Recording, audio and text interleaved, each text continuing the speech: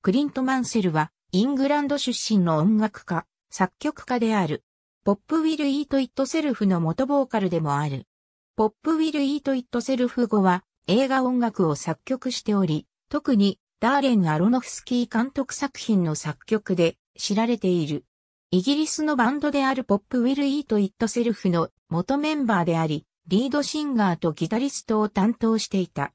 ポがナッシングレコードと契約していた時にマンセルはトレント・レズナーと親しくなり、ナインインチネイルズの1999年のアルバムザ・フラジャイルではバックアップボーカルとして参加した。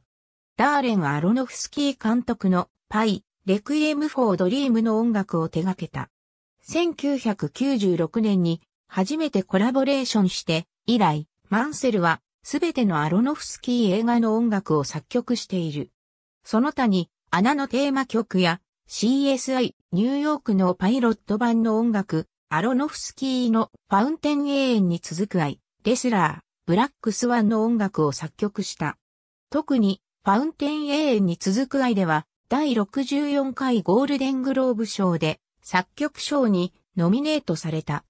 ロード・オブ・ザ・リング、二つの塔の予告編では、レクイエム・フォー・ドリームのサウンドトラックの一曲ルクス・イーターナの編曲版でフルオーケストラと合唱によるものが使われた。他に、レクイエム4、A タワーの一部も予告編で流された。ありがとうございます。